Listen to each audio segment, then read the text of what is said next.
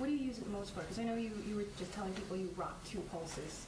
Yeah, so I use it most when I'm at the gym, mm-hmm. when I'm driving, mm-hmm. when I go out at night. I don't have to worry about losing my phone. I don't have to worry about missing a text. I don't have to worry about putting my phone in my bag or my pocket.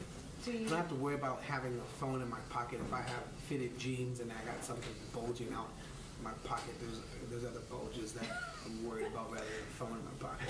We, yeah, that's a big concern. I mean, yeah. But let's, can we get a close-up look at the, I'm joking. Yeah, I know. Close up. no, there's, yeah. No, I'm talking about my keys and stuff. Whoa, where's Of your course, that's what I'm thinking about too, you know, wallets and, and stuff like that.